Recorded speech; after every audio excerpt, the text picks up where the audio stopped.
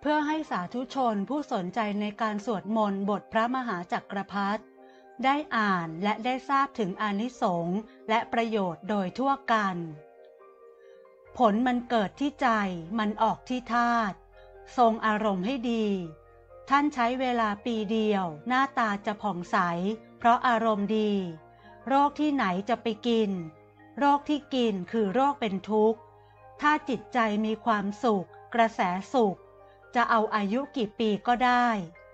อธิษฐานเอาไปที่ไหนเป็นประโยชน์ไม่ใช่ไปแล้วเป็นโทษ ชีวิตนี้มันสั้นไม่ใช่ยาวอะไร ท่านบอกว่า ถ้าสร้างบารมีพระพุทธเจ้าองค์ปัจจุบันนี้ ถ้าเกิดร้อยปีท่านเกิดที บางชาติต้องใช้ขันติอย่างมากเลย เองลองดู ชาตินี้ข้าอายุ 23 24 25ข้าอธิษฐานอยู่กุฏิอยู่วัด ไม่ลงไม่ไปไหนตลอดชีวิตข้านั่งอยู่อย่างนี้ 50-60 ปี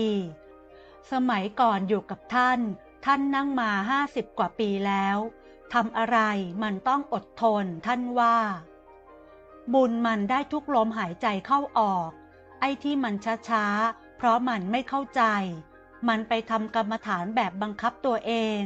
มันไม่ได้ทำใจให้สบาย ถ้าเองเดือดร้อน จิตวุ่นวาย เองนั่งอย่างไง มันก็ไม่สงบท่านว่า ถ้าอารมณ์เองดีนั่งไปสิ แป๊บเดียวก็สงบนิ่ง เหมือนนอนกลางคืน ถ้าอารมณ์ไม่ดี คิดโน่นคิดนี่ มันก็ไม่หลับ มันจะเป็นทุกข์ก่ายหน้าผากก็แล้ว มันก็ยังนอนไม่หลับ เพราะมันคิดโน่นคิดนี่ บทสวดมีประโยชน์ สวดให้หลับมีประโยชน์อย่างไร พอสวดหลับไปไม่นาน ในความฝันมันไม่มีทุกข์ มันไปฝังพระเทศบ้าง ไปสวดส่งวิญญาณบ้าง ไปทำบุญบ้าง ฝันเห็นพระบ้าง ฝันเห็นวัดบ้าง ฝันดีๆ ทั้งนั้น ไม่มีหรอกที่จะฝันร้ายเหมือนเมื่อก่อน นี่คือกลางคืน พอตื่นขึ้นก็สวดอีก ตอนกลางวันก็สวดอีก กระแสของพุทธ ธรรมะ สังฆะกระแสจักรพรรดิมันอยู่ในโลกนี้ กระแสจิตเราอยู่ในกระแสความดี มันเป็นสายใยอยู่ ไปที่ไหนเราก็ปลอดภัย โรคกรรมก็จะไม่เกิด เพราะกระแสมันอยู่ที่พลังงานพระพุทธคุณ พระธรรมคุณ พระสังฆคุณ บทที่มันเป็นบทบุญยฤทธิ์และอิทธิฤทธิ์ ลองคิดดู ถ้ากระแสสวดไปเรื่อยๆ กระแสกรรมจะเข้าได้ที่ไหน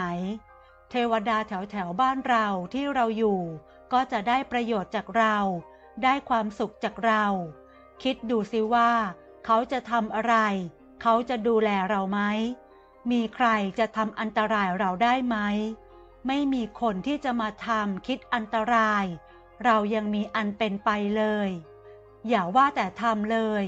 นี่คือประโยชน์ที่พูดนี่เป็นประโยชน์ส่วนน้อย ประโยชน์มากที่สุด ทิพย์อำนาจอำนาจแห่งความเป็นทิพย์สามารถแยกอาทิตย์สมานกายได้มากมายไม่มีประมาณ บทนี้ไตรสรณคมกับจักรพรรดิเพียงแต่นึกก็แยกให้ได้เลย กระแสกายกระแสจิตจะออกมา คนอยู่ใกล้ ๆ จะมีความรู้สึกเลย ไม่ใช่ไปที่ไหน วงแตกที่นั่น มันจะเป็นพุทธพรหมปัญญโยเหมือนฉายาของท่าน พุทธแปลว่าผู้รู้ ผู้ตื่น ผู้เบิกบาน พรหมปัญโย ผู้มีปัญญาอย่างพรหมนี่คือประโยชน์ เองจะไม่เกิดมันง่าย ต้องให้จิตมีบุญ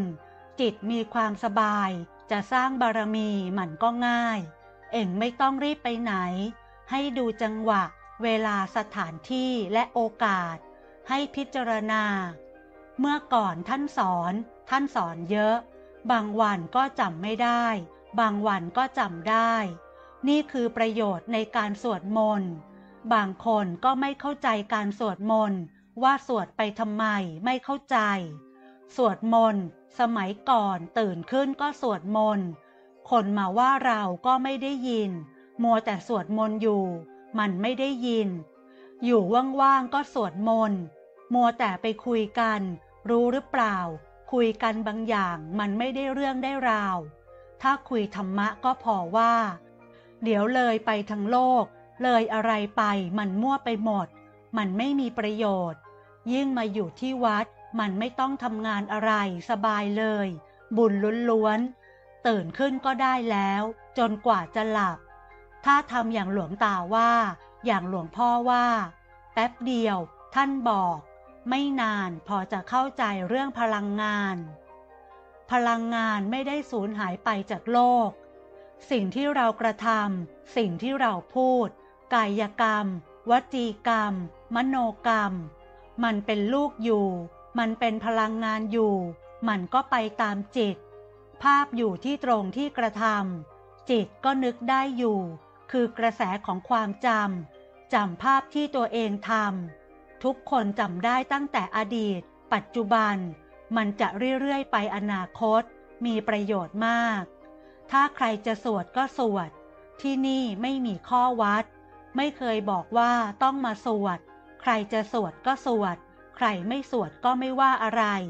ถ้าไม่เข้าใจก็มาถามได้ว่าสวดไปทำไม อยากให้สวดดูว่า สักสิบปี ว่าจิตจะมีอำนาจตามที่พูดหรือไม่ มันจะมีทิพยอำนาจไหมอำนาจทางจิตอำนาจจากความเป็นทิพย์จิตมันเป็นทิพย์แต่ต้องอาศัยธาตุของจิตสะสมพลังงานธาตุมันสะสมไม่ได้ ท่านบอก มันสะสมที่จิต แต่ต้องอาศัยธาตุตอนที่ยังมีชีวิตอยู่ ตายแล้วทำไม่ได้ เพราะไม่มีธาตุเพราะงั้น ภพภูมิเขา เวลาเราอธิษฐานไว้